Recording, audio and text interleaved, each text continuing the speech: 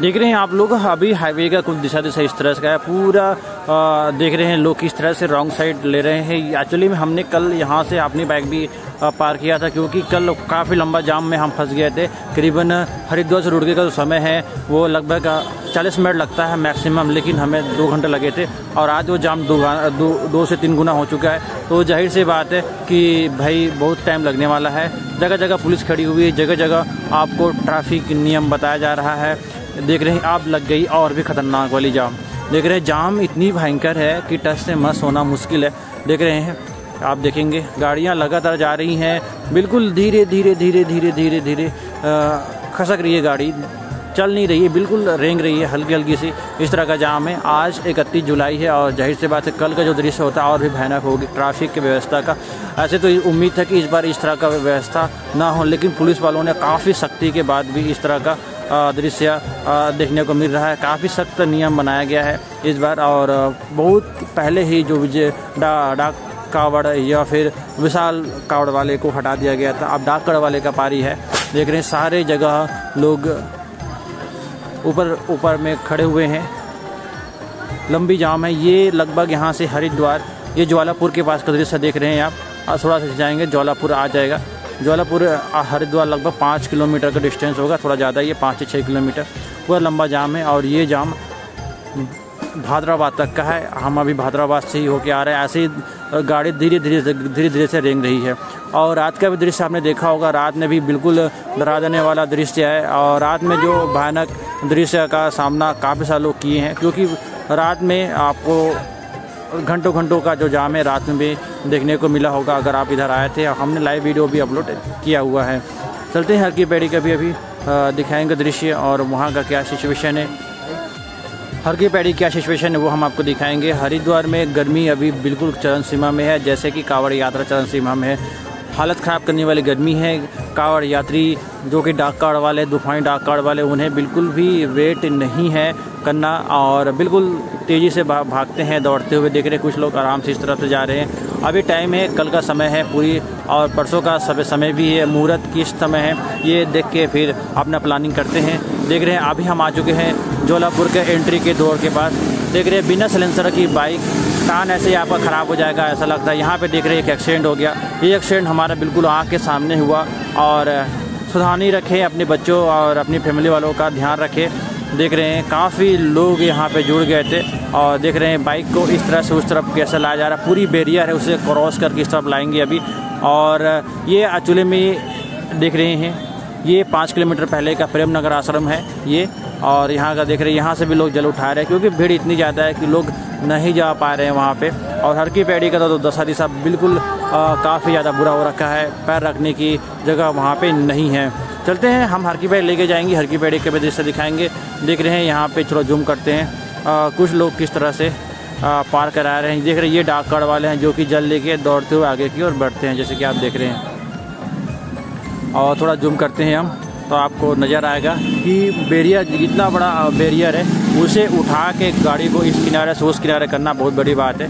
देख रहे हैं, वो कर रहे हैं। और ऐसा है, हर एक जहाँ पुलिस वाले मिलेंगे, अभी चलान नहीं कटेगा आपका। और साथ में कोई ग्रीन रेड सिग्नल नहीं है, कोई टोल बिल नहीं देना है आपको, बिल्कुल चलते रहना है। इस तरह का भी दृश्य है। देख रहे हैं, वहाँ से लोग उठा रहे हैं। वैसे उठा के इस किनारे से उस किनारे करेंगे, फिर आगे बढ़ेंगे। और आप सबसे रिक्वेस्ट है, अगर आप नॉर्मल श्रद्धालु है एमरजेंसी ना हो तो आप अभी एक या दो दिन ना आए। बाकी चार तारीख को तो भी आपका आना ज़रूरी होगा, क्योंकि चार तारीख एक बड़ा स्नान है और उस दिन भीड़ काफ़ी ज़्यादा होने वाला है। ऐसे चार तारीख को नॉर्मल श्रद्धालु की संख्या ज़्यादा देखने को मिलेगा क्योंकि कावड़ यात्री भी रहे हैं, क्योंकि सावन तो ख़त्म नहीं होगा, सावन तो पूरे एक महीना चलेगा। और अभी हम आ चुके हैं ओम घाट के पास ओम घाट के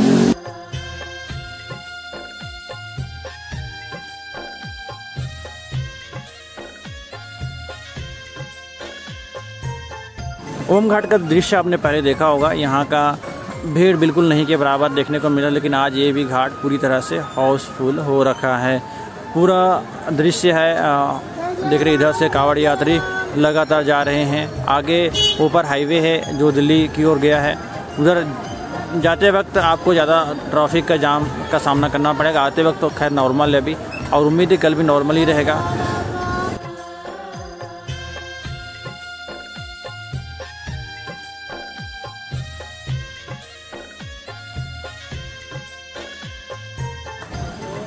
यहाँ पे देख रहे हैं, यहाँ पे बैरियर बैरिकेड लगाया गया है ताकि लोग रॉन्ग साइड ना जाएँ। पुलिस वाले खड़े हुए हैं। चलते हैं अब आगे की ओर हरगी पैड़ी जहाजपुर अब यहाँ से है नहीं ओम घाट बस पहुँच चुके हैं। अभी हैवी बारिश होने का यहाँ पे सूचना आया है, बाकी देखते हैं हैवी बारिश होता नहीं है, सूचना डेली आता है। देख रहे हैं, इस तरह का हाल है अभी। और हल्की फुल्की सी बारिश का तो मौसम दिख ही रहा है, देख रहे हैं, ये पार्किंग है। पूरी पार्किंग किस तरह से देख रहे हैं। पार्किंग पूरी तरह से फुल है और कल भी इससे डबल भीड़ होने वाला है।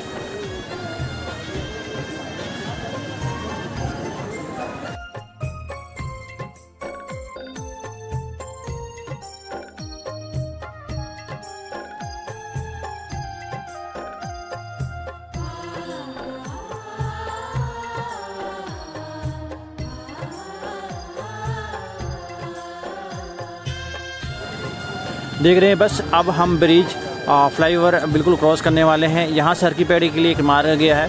पूरा मार्ग बंद कर दिया गया है और ये एक पार्किंग है। ये सबसे नज़दीकी पार्किंग कहेंगे हरकी पैड़ी के पास। ऐसा पंच पार्किंग नज़दीक इससे भी नज़दीक है। वहाँ पे अभी हाउसफुल चल रहा है, काफ़ी भीड़ है। अभी हम दिखाएँगे, वहाँ का वजह से दिखाएँगे। देख रहे हैं, यहाँ से लोग क्रॉस करने की कोशिश कर रहे हैं, यहाँ से एक मार्ग है।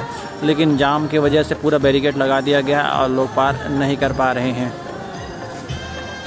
ये जैसे जैसे हर की पैड़ी पहुँच रहे हैं वैसे वैसे भीड़ भी लगातार बढ़ रहा है।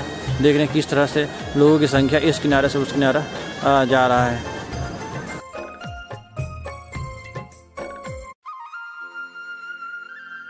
ये आप देख रहे हैं 108 फीट ऊँची मूर्ति है, जहाँ पे सबसे ज़्यादा जाम लगा हुआ है। लोग यहाँ पे आते हैं आशीर्वाद लेने के लिए पूजा पाठ करने के लिए, और यहाँ पे सबसे ज़्यादा भीड़ नज़र आता है।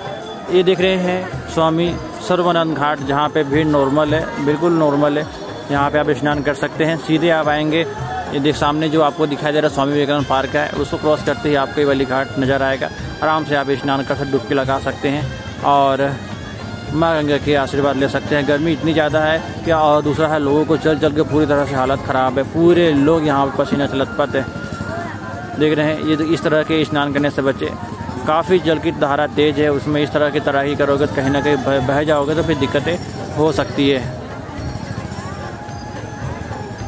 पूरे हाईवे में इस तरह का दृश्य था और पूरा हाईवे हमने दिखा दिया, गंगा स्नान भी दिखा दिया और वीडियो आपको अच्छी लगी हो तो शेयर ज़रूर कीजिएगा, लाइक करना ना भूलें और चैनल में नए सब्सक्राइब ज़रूर कर दें। फिर मिलते हैं एक नए वीडियो पे। जय माँ गंगे, हर हर गंगे नमामि गंगे। देख रहे हैं घाटों का दृश्य।